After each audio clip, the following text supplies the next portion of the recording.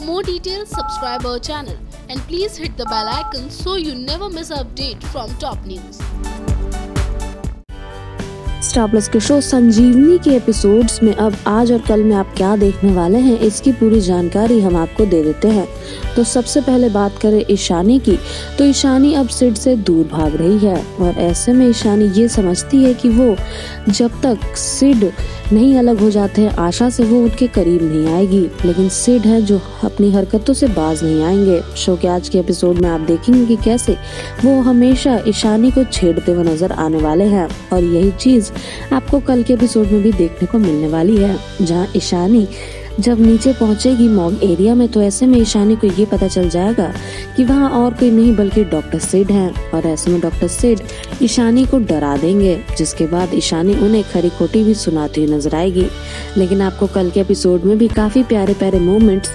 आपके फेवरेट सिड और ईशानी का देखने को मिलने वाला है। तो अब देखना मज़ेदार होगा कि आखिर और कौन कौन सा धमाका हमें कल के एपिसोड में देखने को मिलता है। फ़िलहाल बस इतना ही, और भी अपने फेवरेट शो संजीवनी से लेटेस्ट अपडेट को जानने के लिए सब्सक्राइब कीजिए हमारा channel top news just for you top news की report